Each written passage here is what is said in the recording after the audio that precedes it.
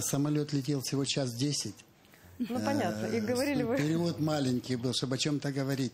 Э, Находясь в застенках э, СИЗО, находясь в Лефортово, ребята, я слышал их разговоры, разговаривал с Балухом, потому что он рядом со мной сидел, с Володей Балухом.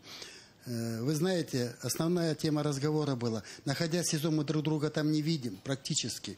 Даже в соседней камере сидит, мы не можем видеться. Мы можем там через окно э, перекликнуться, правильно, Ахтамбек? Через кормушку. через кормушку, когда открывает, то есть окошко, там, где этот, еду подают, э, надо открывает, там мы можем перекричаться. Или, если пол- получается, там, звонить.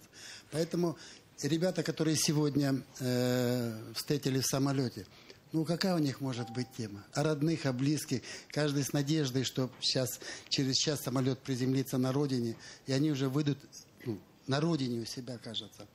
Геополитика, конечно... А скажите, я, извините, я перебью. А у вас вообще был выбор? То есть вот вас спрашивали? Потому что мы говорили тут о том, что у вас и есть ряд мнений, что у вас, в принципе, и не спрашивали, летите вы на обмен Э, или нет. Знаете, после суда, когда э, я, э, ну, они меня должны были суда отпустить, но посадили в бус э, с охраной и везли. Я думал, я спросил, говорю, куда мы едем? Говорят, мы где тебя взяли, мы должны сдать СИЗО, мол, из СИЗО тебя должны отпустить. Ну, по, по пути мы заехали в ФСБ, э, я увидел, что паспорт мой появился, резко украинский, Э, там подписать, что, что я его получил. Ну, в общем, начались какие-то Да, движения. какие-то. Я да. сразу остановился. Я говорю, и когда мы уже ехали в СИЗО, я понял, ну, я Симферополь знаю, слава богу. Я говорю, почему-то мы не в СИЗО едем, мы за город едем. Говорю, да, мы едем в аэропорт, мы сейчас летим в Москву. Говорю, почему мы должны лететь в Москве?